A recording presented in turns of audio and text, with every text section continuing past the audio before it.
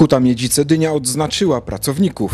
Podczas ceremonii nadano wyróżnienia jubileuszowe, odznakę zasłużony dla KGHM, 19 dyplomów gratulacyjnych i statuetki pamiątkowe.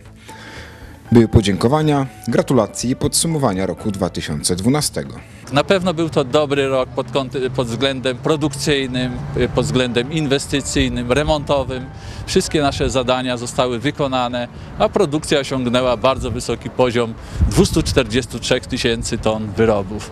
Czyli katody, które produkują huty miedzi, Głogów i Legnica zostały przetworzone na walcówkę i y, drut z miedzi beztlenowej. Wśród wielu odznaczeń były i te za wieloletnią służbę. Jedno z nich otrzymał Artur Cichocki, pracujący na stanowisku elektryka na rozdzielni oddziału GST w Hucie w Orsku. Jak mówił, lata poświęcone Hucie zleciały bardzo szybko, a zmiany były kolosalne.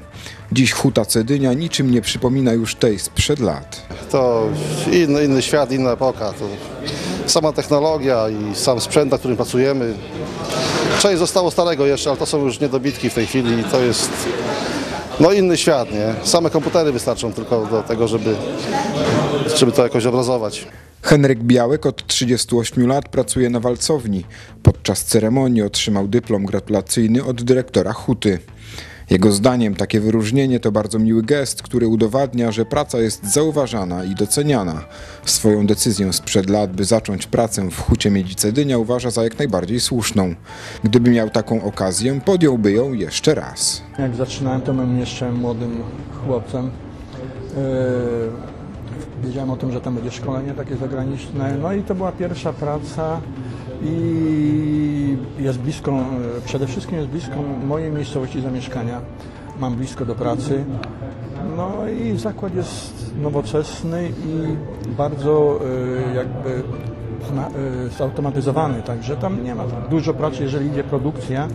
Słowa podziękowania i gratulacje do wszystkich odznaczonych pracowników Huty Miedzi w Orsku skierował wiceprezes KGHM Polska Miedź Wojciech Kędzia. Podczas swojego wystąpienia mocno zaznaczył, jak ważnym oddziałem polskiej miedzi jest Huta Cedynia. Chciałbym przede wszystkim w imieniu własnym, jak i również zarządu e, Polskiej Miedzi e, podziękować Wam za wyniki e, pracy. I również gratuluję jednej rzeczy, wolumenu produkcji, bo rzeczywiście produkcja powyżej 230 tysięcy ton jest produkcją znaczącą. Pozostałe odznaczenia i wyróżnienia zostaną nadane podczas centralnych obchodów Dnia Hutnika 6 maja. Wówczas świętować będą pracownicy wszystkich hut należących do KGHM.